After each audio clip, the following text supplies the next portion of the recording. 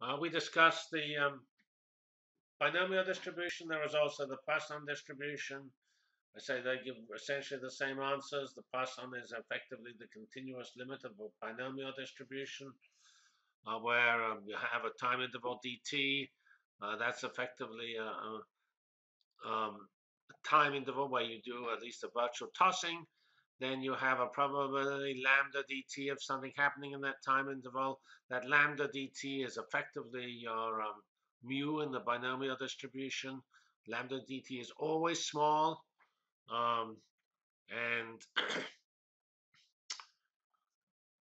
you can then calculate uh, what this Poisson distribution gives. It the simplest example of a Poisson distribution uh, is nuclear decay because there Mother Nature will generate decays with a certain probability which ensures that the chance of a decay happening in time dt is indeed lambda dt. And you can um, go again to Wikipedia and find out exactly what's going on. And you will find that for a Poisson, always the mean is the square of the standard deviation. So it again has the square root law. Uh, this plot here compares Poisson, which are the um, black lines, like this, with various binomial distributions. And when you have, a, when you do the things finely enough and chop the binomial up into uh, many small uh, steps, you will find the binomial looks very similar to the Poisson.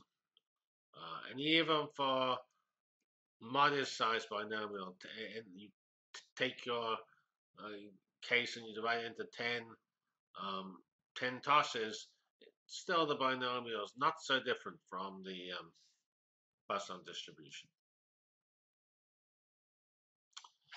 Wikipedia in this article on the Poisson distribution gives lots of examples. Uh, there's one obvious, one example is uh, cars arriving at um, parking lots, um, telephone calls arriving at, uh, at an exchange, photons arriving at a telescope, um, and so on.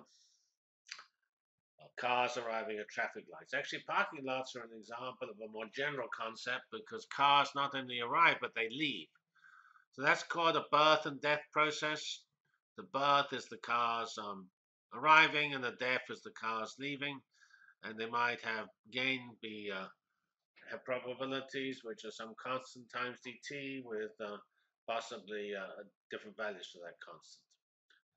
Um, Another important example of birth and death processes occurs in um, population dynamics. If you have a collection of fish and sharks, maybe the fish um, give birth with a certain Poisson distribution. They um, they get eaten by sharks. That's a death process, so that corresponds to the fish disappearing rather than appearing as they do when they're born.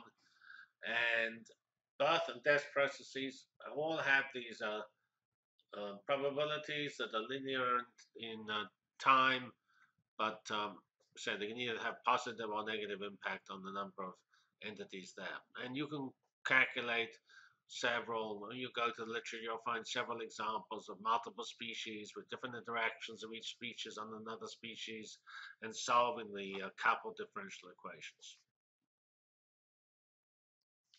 Here's yet more examples.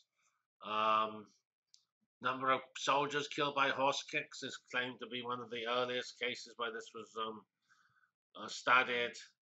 Um, number of cells used in brewing beer was uh, seemed that seems is, is important.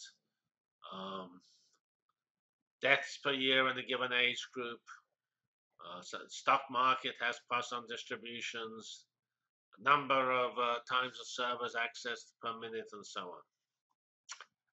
Uh, so there are many examples of Poisson.